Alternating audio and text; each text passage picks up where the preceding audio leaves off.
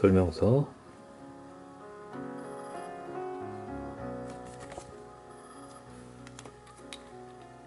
외용기 한 개가 들어있고요.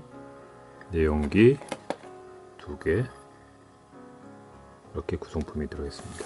내용기에 뚜껑을 당기면 아래 이렇게 스프링이 있는 결합 부위가 보이고요.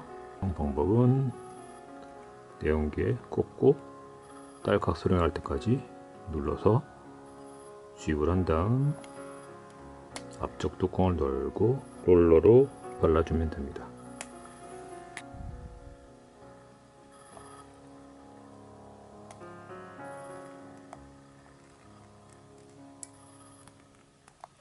지금 딱 소리 났죠? 결합이 된 거고요. 앞 뚜껑을 열고 사용할 때는 아래 쪽을 이렇게 눌러주면 이렇게 액이 나오는 걸 볼 수 있습니다. 이 상태로 눈썹에 2, 3회 왕복 발라주면 되고요. 그 다음 손가락으로 두드려서 흡수를 시켜주면 됩니다.